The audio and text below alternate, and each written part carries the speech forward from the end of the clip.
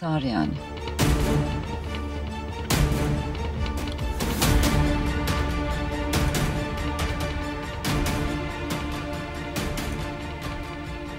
Kendini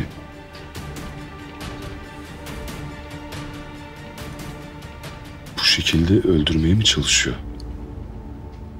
Evet, durumu çok ciddi. Giderek güçten düşüyor. Böyle devam ederse bugünkü gibi sık sık ataklar yaşayacak. E, bir noktadan sonra serumlar da yetmeyecek. Neden? Neden anlamıyorum. Nasıl gayret etmek yerine pes etmeyi, ölümü tercih eder? Çünkü sadece bedeni değil, duyguları da felç olmuş. Nasıl? Onu hayata bağlayan nedeni kaybetmiş olabilir. Akşam yemeğimiz hazır.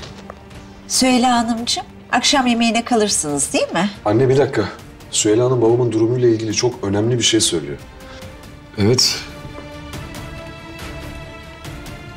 Babamı hayata bağlayan şey dediniz. Otur şöyle. Hadi otur. Bu konunun açılmasını istemediğini söylemiştin. Bir aile dostu olarak belki haddim değil ama bir doktor olarak bunu söylemek zorundayım.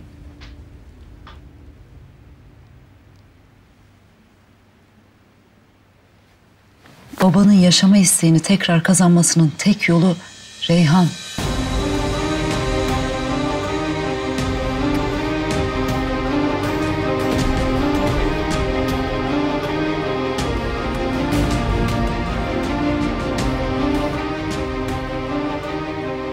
Reyhan'ın bu evde babanın yanında olması lazım.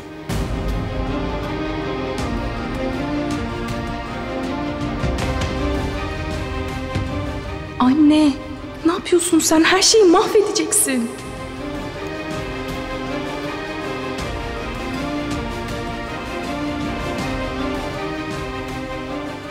Bu mümkün değil.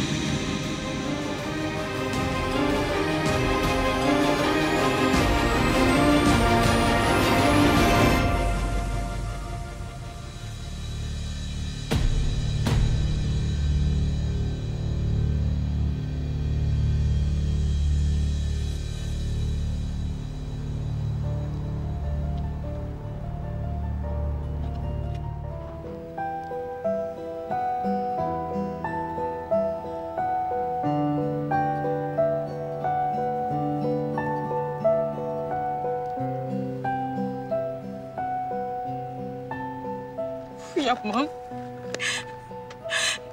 Yapma ardına bakma. Bakarsan gidemezsin. Yapma.